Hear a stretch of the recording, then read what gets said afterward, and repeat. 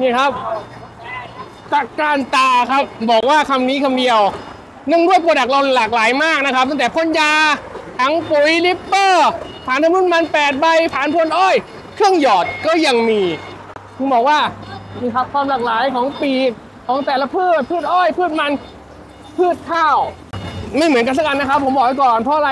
ระยะล่องของแต่ละอันไม่เหมือนกัน ผมบอกนะ ถ้าข้าวก็เน้นทีหน่อย แต่ถ้าเป็นอ้อยเป็นมันก็เป็นร่องห่างหน่อยนะครับข้าวโพดด้วยโอเคนะเนี่ยปีกหลากหลายปีกแนวตั้งก็มีนะครับปีกแนวตั้งเนี่ยความสูงสูงสุดตอนติดตั้งพ่นได้เฉลี่ย4 เมตรกว่าเลยนะผมบอกเลยเพราะอย่าลืมว่าตอนที่อยู่รถไถหางจะขึ้นไปอีกนะครับ ระบบพ่นยามันมีข้อต่อเยอะ ไม่ว่าจะเป็นระบบปั๊มระบบถัง ระบบสายต่างๆนานานะครับ เราเช็คทั้งหมดทั้งระบบ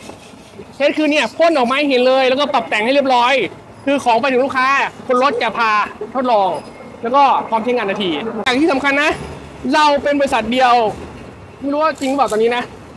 ที่ซ่อมปั๊มไดอะแฟรมได้นั่นเราสำคัญใช่ไหมเราเนี่ยมั่นใจขนาดนี้แล้วกันเพราะอะไรซ่อมปั๊มไดอะแฟรมได้หมายถึงว่าคุณมีอะไร เรามีอะไรแน่นอนเกือบทุกชิ้นในเครื่องนะครับย้อมเกือบทุกชิ้นในเครื่องนะแต่ถ้ามันเสียหายหนัก เราแนะนำเขาว่าให้เปลี่ยนทั้งทั้งปั๊มดีกว่าเนี่ยครับเราก็ลองอย่างนี้นะครับตามจริงต้องกางปีกด้วยนะเนี่ยอันนี้เนื่องด้วย พื้นที่เขาแคบใช่แคบ เราเป็นอย่างนี้เรามีเครื่องทดลอง2เครื่องนะครับที่บอกแปดเมตรสิบหกหัวฉีดนะครับ เป็นท่อสแตนเลสนะครับท่อเห็นไหมท่อเงาๆสแตนเลสนะแล้วก็สายไฮดรอลิกนะครับก็จะเป็นเนี่ยตัวนี้ปีกแนวตั้งเนี่ยขวัญใจของเราเลยตอนนี้เพถามราะว่าอะไร ถามทำไรไมเพราะอะไร ข้อหนึ่งมันเป็น5 step 5 step คือระยะความกว้างของเนี้ยไม่เกิน1เมตร เข้าร่องได้ เราย้ำนะเข้าร่องได้2เนี่ยครับถังช้างทอง ย้ำนะทีเนี่ยปิดได้ทุกก๊อกแปลว่าการพ่นของคุณอะพ่นความสูงเท่านี้ก็พ่นได้ปวดเฉพาะตรงนี้เห็นไหมอันนี้มันยังกลางออกได้อีกนะ แต่ว่ามันจะสูงขึ้นอีกนะครับได้ครับ ตัวเนี้ยหัวขยับขึ้นเลื่อนได้ทั้งหมดเลยนะครับ เราออกแบบตัวเนี้ยพูดตรงว่ามันเหมาะกับงานอ้อยมากๆ เพราะอะไรตอนที่ขีดในร่องก็ผุดเปิดเฉพาะสองตัวนี้ ตอนที่อ้อยสูงแล้ว ก็สามารถพ่นตรงตรงใบอ้อยได้นะครับ ให้ปุ๋ยทางใบได้คอนโทรล นี่ ใหญ่มากเลยนะใช่ลูกค้าดูสิที่ถามว่าใหญ่เพราะอะไร เพราะเราใช้ปั๊มไดแฟมซีซูบสำคัญใช่ไหมเฮียโอ้ยเปียกพูดตรงๆว่าสำคัญไหมโคตรสำคัญ ถามว่าทำไมไม่ใช้สามสูบพูดเลยนะสามสูบน้ำเข้าจริงไหมอ่าผมโดนมาเยอะแล้ว ผมบอกว่าสามสูบอย่าใช้ เพราะอะไร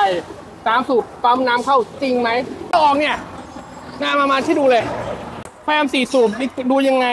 นี่ครับ แต่ละสูบมันอยู่ทางนี้ครับน้ำออกนี่ครับหนึ่งสองสามสี่นะครับ ตัวนี้นะครับ แล้วก็ดูครับใส่เฮลิกตัวนี้ ใหญ่มากครับดูนิ้วแล้โป้วงเราผมนะซ่อมได้นะลูกค้าแล้วมีอะไรด้วยเรามีอะไรเกับทุกชิ้นครับในนั้นต้องดูร้านที่ซ่อมดูแลลูกค้าคือถามว่าอะไรทุกอย่างตัวเนี้ยเราจัดการเองได้ เราผลิตเองได้หลายอย่างนะครับตัวนี้ นี่คือกองดุมบางส่วนที่ออกนะครับ เราย้ำนะ ดุม ต้องคู่กับล้ออยู่เนี่ยออกหมดเลยนะผมบอกไว้ก่อนอ่าแล้วดูยอยที่เราใช้ครับนี่ยอยครับนี่นี่คือออกหมดเลยเพราะวันนี้ออกพ่นยาไปมันน่าจะร่วม 40-50 เครื่องอะเนี่ยครับกองยอยที่เราต้องออกวันนี้นะครับ ใช่หมดเลยริปเปอร์แล้วก็มีนะครับฐานทุกมันแปดใบก็มีทางปุ๋ยแยกก็มีนะครับ เราคือโรงงานครับเรายืนยันให้ดูบรรยากาศโดยรวมกันนะครับนี่ครับรถวันนี้ จะใช้ทั้งหมด 25 คัน ความแตกต่างของ3สูบ4สูบเป็นอย่างนี้นะครับนี่นี่ครับเนี่ยตัวเล็กกว่ากันเยอะที่สำคัญใช้ไปถ้าว่าใช้เอาเรียกว่าใช้งานก็กลางๆแล้วกันไม่ถึงว่าหนักไม่ถึงร้อยไร่อะน้ำเข้าปั๊มแล้ว ผมพูดตรงเลยทำไมเราต้องเปลี่ยนใช่ไหมช่างใช่ไหมอะวันนี้ผมจะทุบทิ้งเพราะอะไร ลูกค้าไม่เอาอะ สั่งมาเป็นอะไรลูกค้าไม่เอาเลยทำไงอะ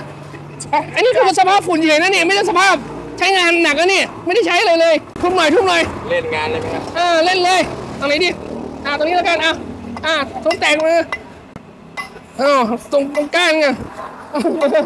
ลูกไม่แตกหรอกไม่แตกหรอกทุบทิ้งเลย เราจะได้บอกว่าเราทุบทิ้งเราไม่ใช้แล้วอะอะอะทำไปเลยทุบทิ้งไปเลย เราไม่ใช้แล้ว